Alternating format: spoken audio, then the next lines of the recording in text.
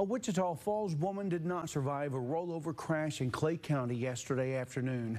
It happened about 10 miles or 10 minutes before uh, 5 on FM 2393, about three and a half miles north of Dean.